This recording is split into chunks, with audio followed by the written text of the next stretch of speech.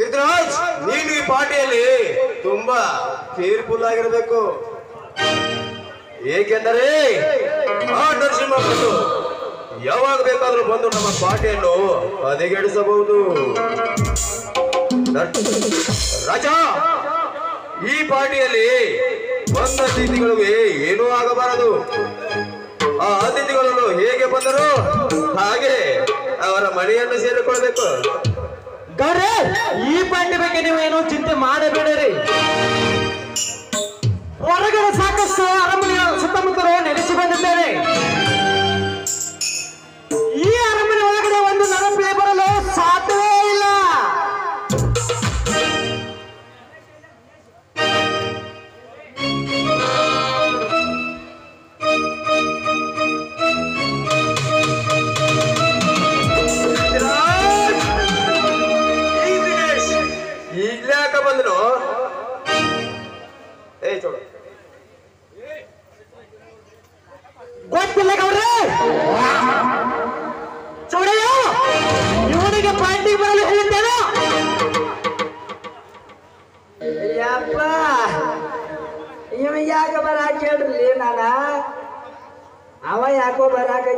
ಸ್ವಲ್ಪ ನೋಡೋಣ ವಿಚಾರ ಮಾಡಿ. ನಮಸ್ಕಾರ ಸರ್. ಓ ಬರಬೇಕು ಬರಬೇಕು. ಕಾರ್ಮಿಕರ ಅಧ್ಯಕ್ಷ ದಿನೇಶ್ ನೀನು ಈ ನಮ್ಮ ಪಾರ್ಟಿಗೆ ಬಂದಿದ್ದು ನಮಗೆ ತುಂಬಾ ಸಂತೋಷವಾಗುತ್ತಿದೆ. ಸರ್ ನಿಮ್ ಪಾರ್ಟಿಗೆ ಬಂದಿಲ್ಲ ನಮ್ಮ ಕಾರ್ಮಿಕರಿಗೆ ಕೊಡ್ಬೇಕಾದ ಮನಸ್ ಕೇಳಿ ಬಂತೀನಿ ದಿನೇಶ್! ನಿಮಗೆ ಬೋನಸ್ ಕೊಡುವ ರೂಲ್ಸ್ ನಮ್ಮ ಇಲ್ಲ. ನಿಮಗೆ ಬೋನಸ್ ಕೊಡಲು ಸಾಧ್ಯವೇ ಇಲ್ಲ. ಸಾಧ್ಯವಿಲ್ಲ ಹೇಗೆ ಸಾಧ್ಯ ಇಲ್ಲ ನೋಡ್ರಿ ದಿನೇಶ್ ಪ್ರತಿ ವರ್ಷ ನಾವು ಫ್ಯಾಕ್ಟ್ರಿ ಕಟ್ಟಿದಾಗಿನಿಂದಲೂ ಯಾವ ನನ್ನ ಮಗನಿಗೂ ಈ ಅಗ್ನಿಗೌಡ ಬೋನಸ್ ಕೊಡ್ತಾ ಬಂದಿಲ್ಲ? ನಿಮ್ಮಂತವ್ರಿಗೆ ಕೊಡಲು ಆಗೋದು ಇಲ್ಲ. ಸುಮ್ಮನೆ ಇಲ್ಲಿಂದ ಹೊರಟು ಹೋಗು. ನೋಡ್ರಿ ಸುಮ್ಮನೆ ಹೊರಟು ಹೋಗಲು ಬಂದ್ರೆ ಹೀಗೆ. ಬೋಣ ತೆಗೆದುಕೊಂಡು ಹೋಗಲು ಬಂದ್ರೆ ಲೇ ಪಡ್ಕೊಂಡೆ. ಸುಮ್ಮನೆ ನಮ್ಮ ಮಾತನ್ನು ಕೇಳಿ ಹೊರಟು ಹೋಗು. ಇಲ್ಲದಿದ್ದರೆ ಕಂಬಗೆ ಕಡಿಸಿಕೊಂಡು ಸಾಯಬೇಡ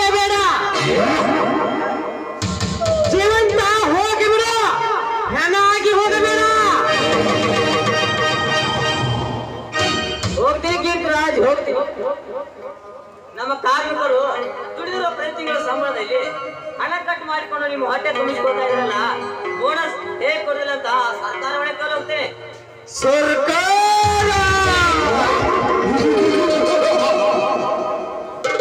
ಹೊರಗೋದ್ರೆ ಅದನ್ನ ಸರ್ಕಾರಕ್ಕೆ ತಿಳಿಸ್ತೀಯ ಮಗನೇ ಲೇ ಚೌಡ ಇವನು ಈ ನನ್ನ ಅರಮನೆಯಿಂದ ಹೊರಗೆ ಹೋದ್ರೆ ತಾನೇ? ಇವನು ಆ ಗೋಕಾಕ್ ಸರ್ಕಾರಕ್ಕೆ ತಿಳಿಸುವುದು. ಶಿಶಿ.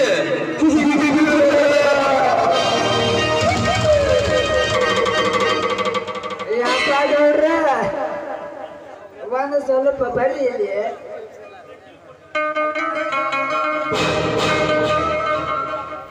ಒಂದು ಸ್ವಲ್ಪ ಕಿವಿ ಕೊಡ್ರಿ ನಾ ಹೇಳ್ತೀನಿ ಇಲ್ಲಿ ನಾವು ಇವನು ಏನಾರ ಅಕಸ್ಮಾತ್ ಕೊಂದ್ರ ನಮ್ಮ ಫ್ಯಾಕ್ಟ್ರಿ ಒಳಗೆ ಐತಲ್ಲ ಒಬ್ಬನಿ ಕಡೆ ವ್ಯವಹಾರ ಮಾಡ್ತೀವಿ ನಾವ ಅದೆಲ್ಲ ಸರ್ಕಾರ ಮಾವಾಗಳಿಗೆ ಗೊತ್ತಾಗ್ತೈತಿ ಅಪ್ಪ ಅದಕ್ಕ ಮುಂದೊಂದ್ ದಿನ ಕೊಡ್ತೀವಿ ಅಂತ ಹೇಳಿ ತುಪ್ಪ ಚಾಪರ್ಸ್ ಕಳಿಸಿ ಬಿಡ್ರಿ ಅವನ ಹೌದು ಚೌಡಯ್ಯ. ನೀನು ಹೇಳುವ ಮಾತು ಸರಿಯಾಗಿದೆ. ಹೇಗಾದ್ರೂ ಈ ಮಗನನ್ನು ಏನಾದ್ರೂ ಮಾಡಿ ನಮ್ಮ ಫ್ಯಾಕ್ಟರಿ ಫ್ಯಾಕ್ಟರಿಯ ಬಾಲರೊಳಗೆ ಹಾಕಿ ಇವನನ್ನು ಪುಡಿ ಪುಡಿಯಾಗಿ ಮಾಡಿ ಇವನ ನನ್ನ ಮಗನನ್ನು ಜೀವಂತ ಸಮಾಧಿ ಮಾಡಿ ಬಿಡೋಣ ಆ ದಿನೇಶ್ ಏನಾಯ್ತು ಹೇಳಿ ನೋಡ್ರಿ ನೋಡು ದಿನೇಶ್ ಇನ್ನೊಂದು ವಾರದಲ್ಲಿ ನಿಮ್ಗೆ ಮೀಟಿಂಗ್ ಮಾಡಿ. ಬೋನಸ್ ಕೊಡೋದ್ರ ಬಗ್ಗೆ ವಿಚಾರ ಮಾಡಿ ತಿಳಿಸ್ತೀವಿ. ನೀವೇನು ಓಲ್ಡ್ ಸ್ಟೇಷನ್ ಮೆಟ್ಟಿಲು? ಹತ್ತೋದು ಬೇಡ. ಆಯ್ತು ನೋಡ್ರಿ ಆರು ಬೇಗ ಕೊಟ್ಟಿವಿ ನಾ ಇನ್ನು ಹೋಗಿ ಬರ್ತೀನಿ. ಹಾಗೆ ಹೋಗಬೇಡ ದಿನೇಶ್. ಪಾರ್ಟಿ ಮುಗಿಸಿಕೊಂಡು ಹೋಗು. ಪರವಾಗಿಲ್ಲ ಸರ್ ನೀವೇ ಮುಗಿಸಿಬಿಡಿ. ನನಗೆ ಸ್ವಲ್ಪ ಕೆಲಸವಿದೆ. ನಿಲ್ಲು ಖಾತೆ ನಿಲ್ಲು ದಿನೇಶ್. ಕೆಲಸ ಅಂತ ಎಲ್ಲರಿಗೂ ಇದ್ದೇ ಇರುತ್ತೆ. ಇವತ್ತೊಂದು ದಿನ ನೀವು ಎದ್ದು ನಮ್ಮ ಮನೆಯಲ್ಲಿ ಪಾರ್ಟಿಯನ್ನು ಮುಗಿಸಿಕೊಂಡು ಹೋಗಿಬಿಡಿ.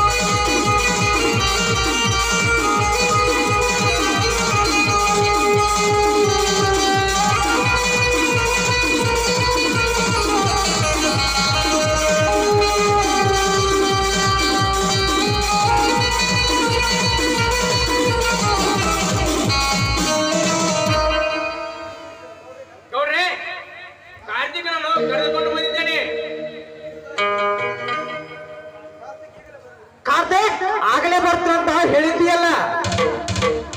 ಮನೆಯಿಂದ ಆಫೀಸ್ ಹೋಗಿ ಬರ್ಬೇಕಂದ್ರೆ ಸ್ವಲ್ಪ ತಡವಾಯ್ತು ಮತ್ತೇನು ದಿನೇಶ್ ಸರ್ ಹೇಗಿದ್ದೀರಾ? ಎಸ್ ಕಾರ್ತಿ ಚೆನ್ನಾಗಿದ್ದೀರಿ. ರಾಜಾ.